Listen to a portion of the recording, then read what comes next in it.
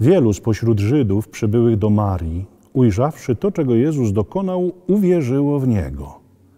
Niektórzy z nich udali się do faryzeuszów i donieśli im, co Jezus uczynił. Wobec tego arcykapłani i faryzeusze zwołali najwyższą radę i rzekli: Cóż my robimy wobec tego, że ten człowiek czyni wiele znaków?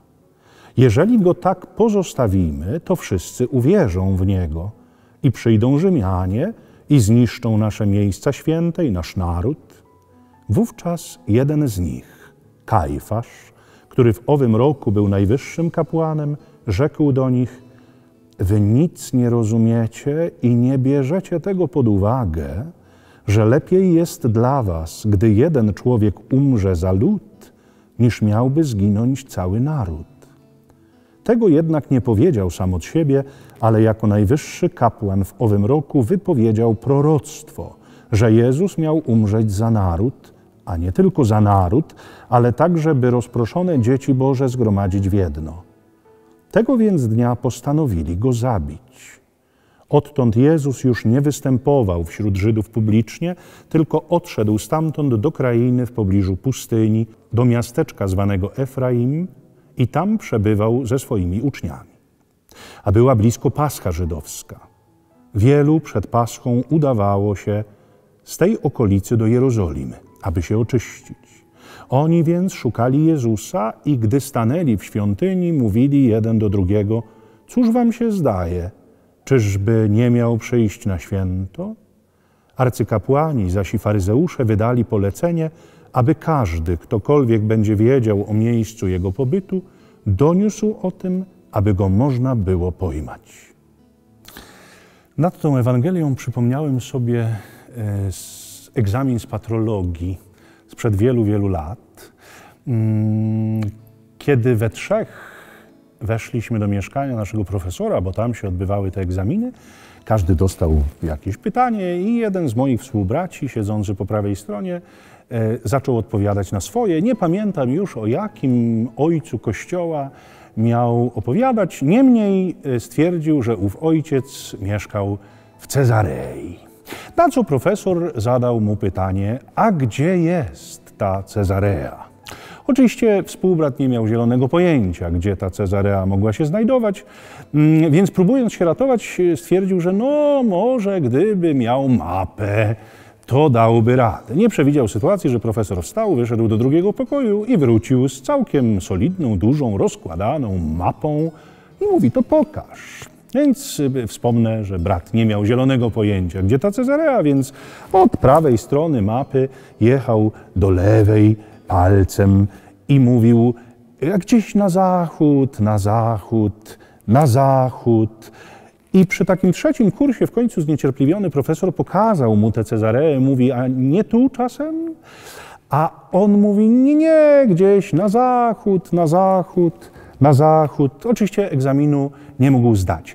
I ta anegdotyczna sytuacja e, przypomniała mi się dlatego, że zobaczcie, że istnieją takie sytuacje, w których ludzie, przyjąwszy pewną wersję wydarzeń, będą się jej trzymać niezależnie od faktów.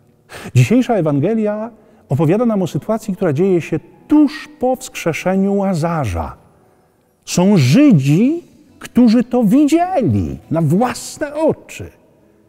I część z nich idzie donieść na Jezusa. Z rozmów przywódców ludu wcale nie wynika, żeby byli zainteresowani treścią cudów i znaków Jezusa. Nie widzą w nich żadnej wartości dla ludu, nie widzą w nich działania Bożego, nie widzą w nich żadnego błogosławieństwa. Dla nich e, to jest sytuacja niepokojąca. Oni się boją. Przede wszystkim o swoją pozycję społeczną, ale przecież trzeba to ubrać w jakieś ładne słowa, e, więc ubierają w troskę o lud, bo przyjdą Rzymianie i zniszczą nasz naród.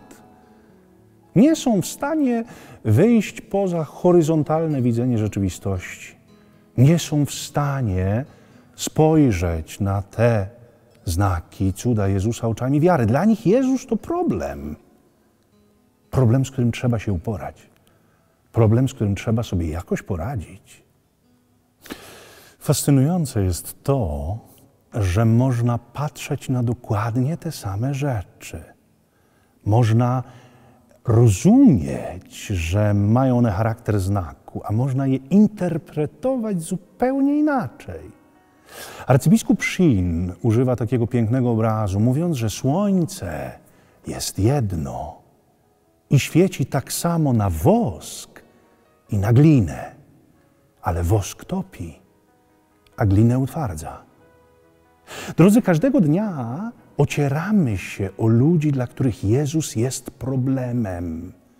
I choćbyśmy w Jego imię wskrzeszali umarłych, to i tak część z tych ludzi w Niego by nie uwierzyła, dlatego że taką wersję wydarzeń przyjęli. To jest ich sposób myślenia, którego będą się trzymać z uporem.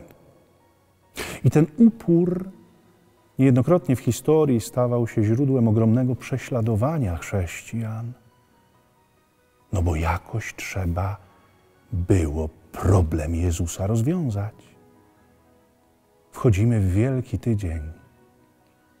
Będziemy się znów przyglądać pierwszej dramatycznej próbie rozwiązania problemu Jezusa.